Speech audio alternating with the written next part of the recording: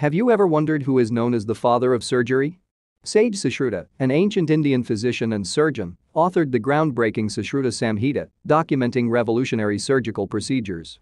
Among his notable contributions, Sushruta described the technique of rhinoplasty, a procedure for reconstructing the nose using skin flaps. This showcased his advanced understanding of plastic surgery.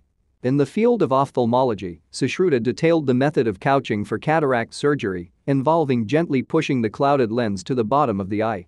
This exemplified his innovative approach to treating visual impairments. Sushruta's expertise extended to lithotomy, the surgical removal of stones from the urinary system. He outlined a precise method for removing bladder stones through a careful incision. The Sushruta Samhita covered cesarean section, dental surgery, and facial reconstruction, highlighting Sushruta's wide-ranging expertise.